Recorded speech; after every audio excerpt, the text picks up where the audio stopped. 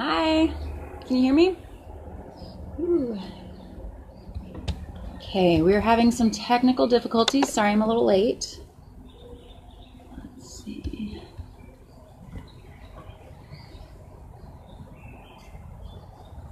Give everybody a minute to log on.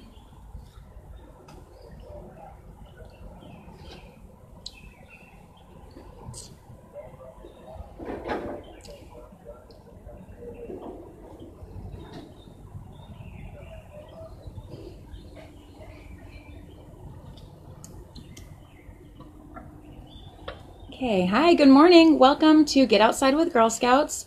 I'm Stephani Vick. I'm uh, with Girl Scouts Carolinas Peaks to Piedmont, serving Central and Western North Carolina. Um, today we are going to be making magic wands. So I need everybody to go outside and find a stick. So, and as you know, uh, you don't pick a wand, a wand picks you. So go ahead and find a stick, give it a couple swishes, see how it feels in your hand. I've got a couple of different options here I'm going to choose from.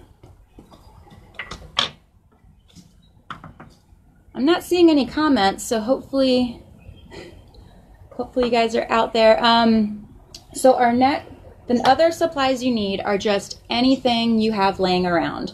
So I've got some paints here, and of course some paint brushes. I've got a recycled cookie box to use as my paint palette. I've got some ribbon,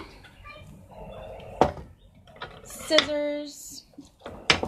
Let's see, what else do I have? I've got some tulle. I thought that might be fun.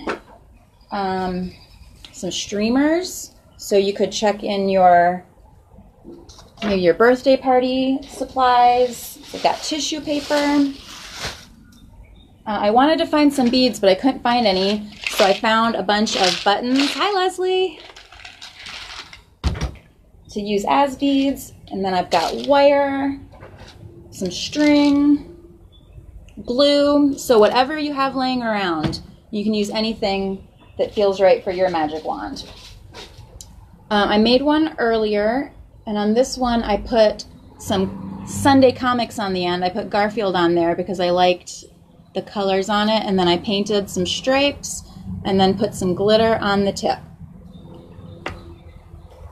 So if you guys are crafting along with me, I want you to comment about what kind of supplies you have in your house.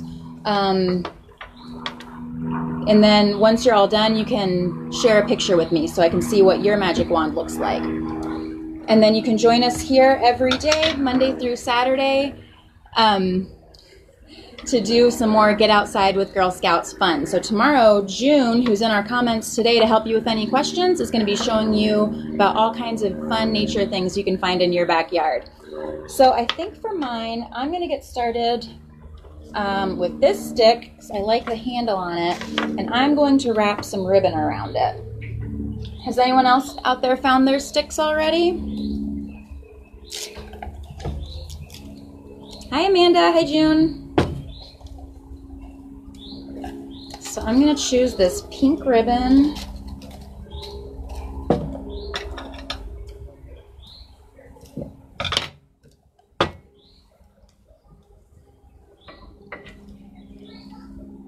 I'm going to tie it here and then maybe wrap it around like a handle. What are you guys doing with your sticks?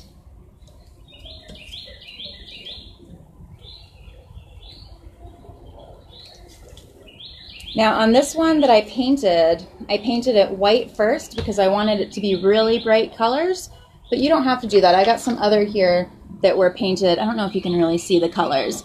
These were painted um, without painting it white first. And you just use whatever supplies you have. So for this one, I'm going to wrap it around, kind of crisscross it.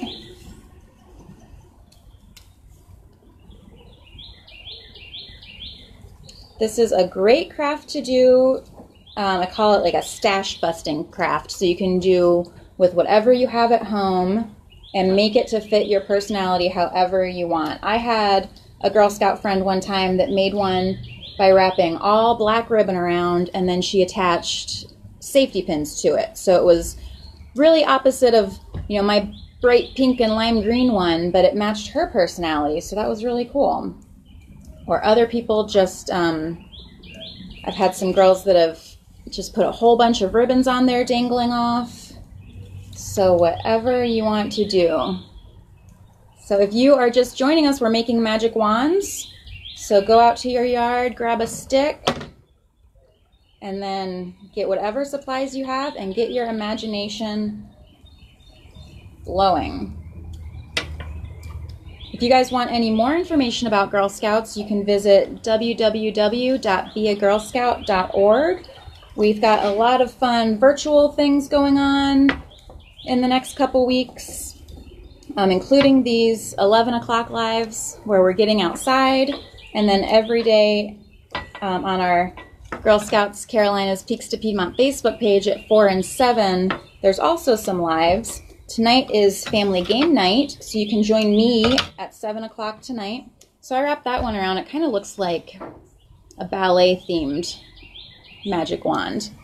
Let's see, what else should I add to it? I think for this one I want some tulle hanging off the end.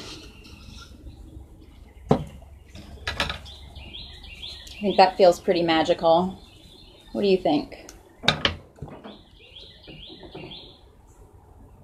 This is a craft I first did at Girl Scout Camp. And if you are interested in our camps, you can visit www.camplikeagirl.com or .org, I'm sorry.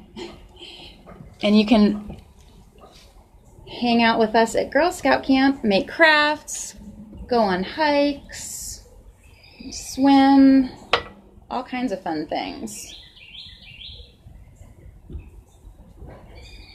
Okay, so I hope I see in your comments, I hope you can share some pictures of the magic wands you make. Let's see, I think the last thing this one needs is some buttons.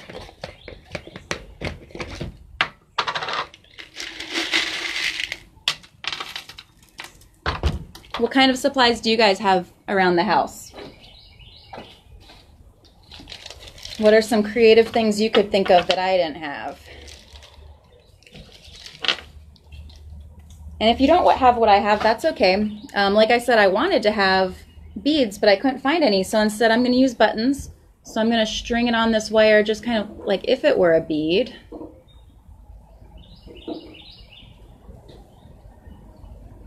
And I think I want mine to kind of be shooting off the end, like that's the magic coming out of my wand. So I'm going to use wire and wrap it around.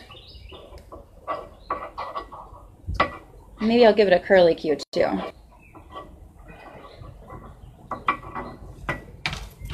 Let's see, let me find some more buttons. Where else is everybody watching from? I see we've got Guilford County.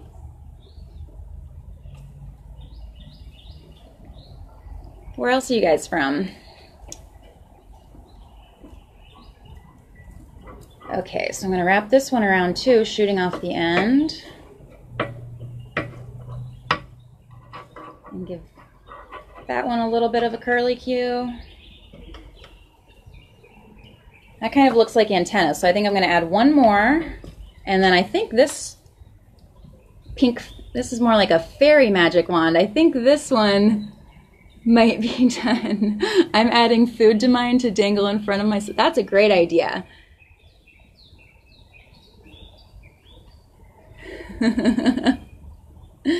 Good thinking, Mindy.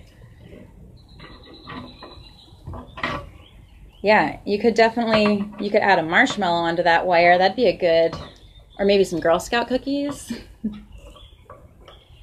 oh, Amanda has foil. Oh, that's a great idea. Foil, beads, glue, and glitter. You could also use hot glue. You don't have to do this craft outside if you want to use some hot glue with an adult. Okay. So, I don't want to point this guys at you because I don't this wand at you guys because I don't want any you know magic flying out through the internet at you. But I think mine is all done. So just as a reminder, if you want to learn some more about Girl Scouts, head over to beagirlscout.org. And if you're interested in summer camp, check out camplikeagirl.org. Bells to distract my dogs. That's a great idea. I've got, I think I've got bells in my um, my kit here too. That's a good one. That'd be good to put on the end. You could, this could be a cat toy too. A magic wand cat toy. So that's great. So we will see you, June will see you tomorrow at 11 a.m. for her outdoor activity. And then hopefully I'll be seeing you tonight at 7 for game, family game night. And then there's another one at 4. Um, I'm not sure what that one is, but uh, put all your pictures of your wands in the comments and let me know that you were crafting along with me. So I will see you next time, guys. Bye.